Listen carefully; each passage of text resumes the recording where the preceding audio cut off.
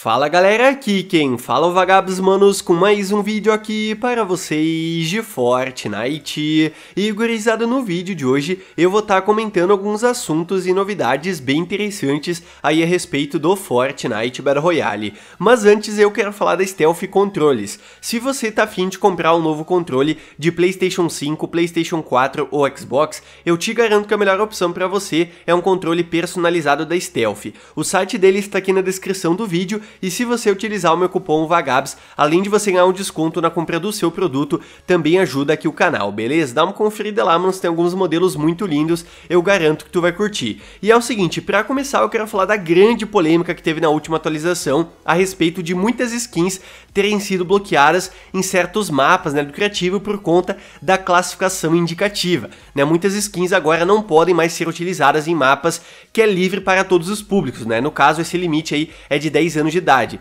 Mas olha só, a Epic Games já comentou, né? Eu já avisei aqui no canal que eles estão planejando mudanças para essa função aí para o jogo já no ano que vem, certo? Para melhorar isso e tudo mais. Porém, eles podem adiantar essas mudanças para ainda nessa temporada. Olhem só que eles colocaram no Twitter. Bem, nosso plano para cosméticos com atualização das classificações não atingiu o alvo esperado. Estamos trabalhando em algumas novas opções que esperamos ter disponíveis para, digamos, algum tipo de grande evento no jogo. Fique ligado, manteremos vocês informados. Então o que acontece? Aqui no final, eles falam que estão trabalhando em novas opções, né, que eles esperam ter disponíveis para algum tipo de grande evento no jogo. Esse grande evento, claro que é o evento final aqui da temporada, né? Já foi vazado, já falei, vai ter evento final para troca de capítulo, certo? Então eles estão dizendo pra gente que estão trabalhando para que essas funções das skins bloqueadas uh, já nessa temporada, né? Porque pode ocorrer do evento final não estar disponível para todas as skins o Yanzitz, inclusive, né, falou sobre isso e olha só o que ele escreveu: que a lista de partidas chamada o Grande Estouro, né, que é The Big Bang do evento, já está definida para ter a classificação indicativa L, né, ou seja, livre para todos os públicos. Dito isso, haverá bloqueio de diversos cosméticos se a classificação não for alterada. E eu acho que não vai ter, porque se a Epic deu esse aviso, é porque eles estão trabalhando né, para essa função aí da classificação das skins já chegar antes do final da temporada, porque senão eles não iam falar isso, tá ligado? Já iam deixar as skins bloqueadas no final do evento e já era. Então, para quem não entendeu, né, tá um pouquinho confuso, é o seguinte, o evento ao vivo vai ser livre para todos os públicos. Essa vai ser a classificação. E como as skins foram bloqueadas, né, muitas delas para menores de 10 anos, elas vão continuar bloqueadas nesse evento final. Isso vai ser muito ruim, porque são muitas e muitas skins, né, fora a mochila e tudo mais, que a galera não vai poder utilizar no evento. Tem muita gente, inclusive, que só usa uma skin, tá ligado? Meio que tradição usar certa skin e tudo mais, e não vai poder usar porque essa skin está bloqueada, né? Foi bloqueada nessa última atualização para menores de 10 anos. Então vamos ver. Se chegar essa atualização das skins antes do evento, beleza. Aí vai ser tudo de bom, né? A galera vai poder usar todas as skins e tudo mais. Se não chegar, aí as skins pelo jeito vão ficar bloqueadas, né? Muitas delas, como eu já falei, é 7% das skins.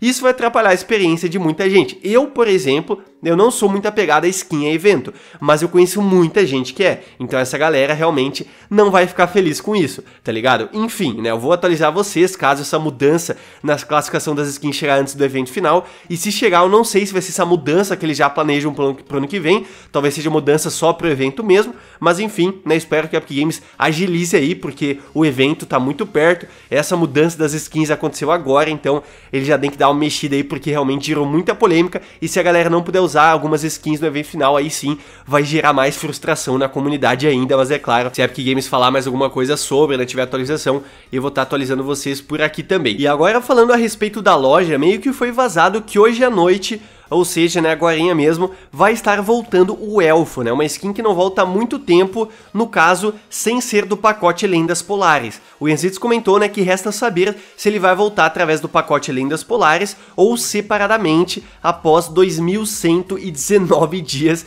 desde sua última aparição solo na loja, que foi no dia 31 de janeiro de 2018. Muitas pessoas ficaram empolgadas com isso, né, do Elfo voltar separadamente, que isso não acontece já faz muito, muito tempo, só que já adianto para vocês certeza que vai ser no pacote, tá? Porque já foi vazado, né, que o pacote Lendas Polares, junto também com o pacote Lendas Congelantes, foram atualizados, ao que tudo indica, eles vão voltar agora aí pra loja, então o elfo vai estar tá voltando dentro do pacote, ok? Inclusive, né, se você quiser comprar um desses pacotes, são muito lindos, pra mim acho que são os melhores pacotes do jogo, tá ligado? E você quiser apoiar aqui o canal, ia ficar muito feliz mesmo se você usasse a tag Vagabito na loja e agradecer de coração mesmo, ajuda muito o conteúdo, tá rapaziada? E também não esqueça né, de avisar algum amigo seu para estar tá comprando esses pacotes, caso ele goste muito, tá esperando voltar, porque são pacotes que ficam somente essa época do ano aí disponíveis para poder comprar na conta. E olha só, agora eu quero falar sobre outro vazamento interessante, que é com relação ao novo modo musical. O Yanzitz comentou que esse modo musical de ritmos, intitulado de Festival, continua sendo trabalhado. Nele será possível tocar vocais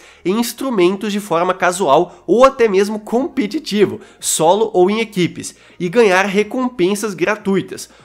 conterá com estes artistas. Aí tem Lady Gaga, Linkin Park, enfim, vários artistas famosos, né, músicas muito famosas também desses artistas, e outros artistas podem, né, aparecer, músicas também serem adicionadas até o lançamento do modo que está previsto para chegar no dia 9 de dezembro desse ano, durante o capítulo 5, ou seja, logo no início do capítulo 5, tá ligado? Isso chamou muita atenção, porque é um modo que, pelo jeito, né, que será possível tocar vocais, instrumentos tudo mais, vai ser meio que um Guitar Hero, tá ligado?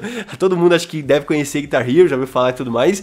E não sei como que isso vai se encaixar no Fortnite, mas eu vi muita gente empolgada, né? Principalmente por conta dos artistas e músicas que já foram vazados ali, tudo que vão estar aparecendo.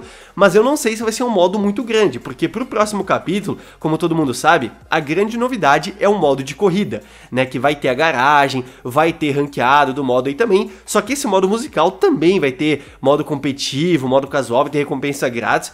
Então a Epic Games ficou maluca, tá ligado? Vai lançar logo de cara dois modos bem diferentes aí pro jogo. A galera já tá falando que o Fortnite tá virando um Mario Kart, um Guitar Hero, já tudo, tudo no mesmo jogo, tá ligado? Enfim, vamos ter que esperar para ver. Não temos tantos vazamentos ainda em relação a esse modo como temos do modo de corrida. Então pode ser que ele seja adiado, tá ligado? Pro ano que vem, ou mais pro finalzinho do ano, final de dezembro no caso. Mas enfim, né? Se você já ficou empolgado, né? Fique ligado, já tá previsto para chegar no início do capítulo 5 5 também. E para finalizar, só falando da atualização que vai ter amanhã, a Epic Games já comunicou no Twitter que vai começar às 6 horas da manhã no horário de Brasília e o operamento de partidas será desabilitado um pouco antes disso. Mas a atualização é 27.11, beleza? Não vai ser, acredito, uma atualização muito grande, lembrando que a temporada X ali, né, o mapa e tudo mais, vai mudar só na quinta-feira, né? Amanhã vai ter atualização, algumas coisas vão ser colocadas nos arquivos, se tiver alguma coisa importante, claro, que eu vou estar comentando aqui com vocês amanhã logo cedo também, beleza? Mas então é isso, galera. Espero que vocês tenham gostado aqui do vídeo. Se você gostou, deixa o likezão aí, porque não custa nada e me ajuda muito. E claro, né, mande aí pros seus amigos para todo mundo ficar ligado em mais assuntos e novidades bem interessantes do jogo. Então é isso, manos. Aquele abraço, se vemos no próximo vídeo. Valeu, falou, se eu fui!